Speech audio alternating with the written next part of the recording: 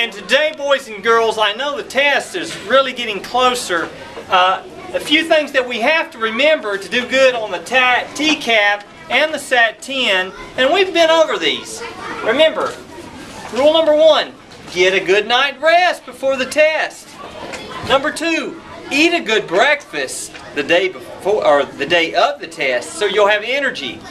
Three, bubble in your answers dark and heavy. Four, we really want you to try your best, boys and girls. This is important. Oh, and oh yeah, last but not least, I left one off.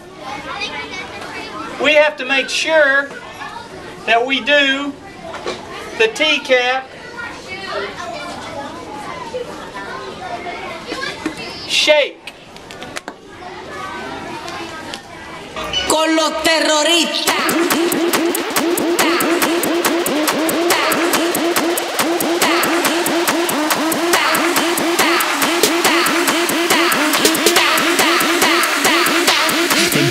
Harlem Shake.